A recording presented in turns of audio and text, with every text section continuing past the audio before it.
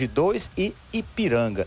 E aqui é uma casa igualzinha às casas que os quilombolas viviam no passado. Hoje eles vivem aqui, claro, em casas de alvenaria, mas aqui o museu eles preferiram fazer assim, ó, museu, uma casa igualzinha à casa que os quilombolas viviam no passado. E aqui tem fotografias, uma palmatória, isso aqui, ó, quem das antigas estudou nas escolas antigas sabe o que é palmatória, que também era usada para para massacrar os negros, né? Tem aqui, ó, a mãe preta, que é da arte deles aqui, certo? Tem um, um oratório que também eles usavam, é, os, os, os, quilombolas eram religiosos, quarto da casa. Tem as roupas aí, dá para você entrar e mostrar. A cama, tem o famoso pinico, nesse tempo não tinha banheiro, né? O pessoal usava um pinico para fazer necessidades fisiológicas à noite.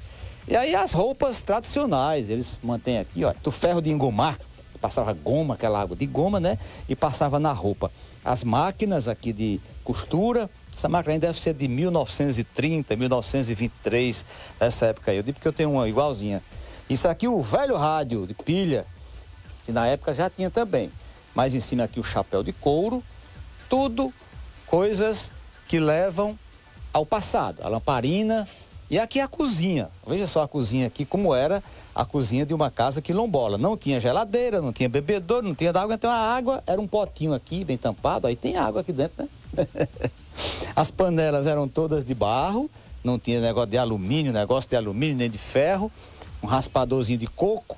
E aqui o fogão. Olha só o fogão como era. Feito de barro, né? Tinha essa chapinha de ferro aqui.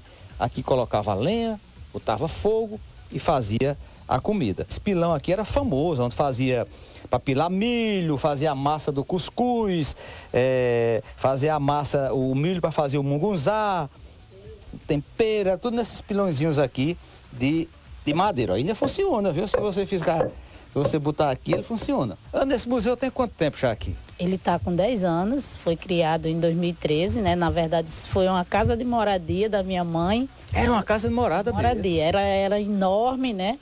E há cinco anos atrás ela caiu e foi refeita menorzinha porque era o espaço que a gente precisava, né? Então a ideia era derrubar todas as casas de taipa por conta da incidência do barbeiro, né? E essa aqui minha mãe disse, não, vamos deixar para a gente transformar num museu para as pessoas verem como era a vida de um ex-escravo. E essa história vai sendo repassada, né? Para que ela não se perca. E o pessoal visita muito aqui? Muito, muito. Nós temos, é, já vamos entrar nas 10 mil visitas, né? Nesses 10 anos. Então, vamos tirar três anos de pandemia, né? Que é. ficou fechado. Sete anos. É, exatamente. Dá mais de mil pessoas por mês, por ano, né? Muita, muita, gente. Muita gente, muitas escolas, universidades, institutos federais, mas muito turista também, né? No Conde, é, que é reconhecida hoje como uma das, uma das cidades que tem a maior concentração de quilombola na Paraíba, e especificamente Guruji e Ipiranga tem uma concentração de uma média de, de mais de duas mil pessoas, mais de duas mil quilombolas aqui morando na, nas comunidades, né, segundo informação do IBGE. Essa, essa, pesquisa recente do IBGE que apontou 16 mil pessoas na Paraíba quilombolas, vocês concordam ou tem mais? Olha, é, a coordenação estadual, né, que é a SECNEC, é, tem dúvidas sobre esse número, né? Não pela questão só das pessoas se autodeclararem como quilombola, mas pela forma que foi feita, os recenseadores, muitos não eram da comunidade e dentro dos quilombos da Paraíba, algumas comunidades ainda têm receio de se autodeclarar pela questão das repressões que sofrem ainda por latifúndios e demais que massacram o, o povo quilombolas. Eita, rapaz, que interessante, Remaci. Eu, inclusive, em breve quero conhecer esse local. Que bacana esse museu, viu? Eu gosto dessas coisas assim, isso me, me remete uma lembrança do meu interior da Paraíba, né? Eu nunca morei em nenhuma casa assim de barro, morar não morei, mas visitava muita gente. Eu, eu, eu gostava tanto quando eu ia comer. Eita, rapaz, o ferro. Esse aí é o ferro, a base do de carvão, né?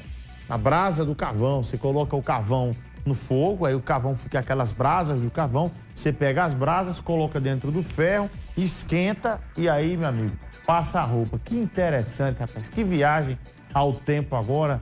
Lamparina, rapaz, é o famoso candeeiro que chama. Lamparina e candeeiro são geralmente as mesmas coisas. Isso ali é o caçoar, ali é um pote. Eita, água de pote é bom demais. Eu gosto de água de pote. Na casa da minha tia tinha um pote bem organizadinho, né? Que mais aí para falar o nome de tudo isso aí? Ó. As cuias, né? De você coloca, chama-se cuia de milho, de milho, a parte de baixo. Aí o fogãozinho de lenha, ó. Eita, com a cafezeira. Que interessante. Bota o dedo para não se queimar não, já, Marcinho. Que, eita, um fogãozinho desse aí. Que negócio bacana, viu? Pilão, aqui é o pilão, rapaz, ó. Tá, casa da minha avó tem um pilão desse daí. Pilãozinho de milho, bacana. Tem uma telespectadora, mais uma para cantar? Tem. É Claudiane do Jardim Veneza, é isso? Secretária. Eita, vai cantar o quê comigo? Bom dia, Claudiane.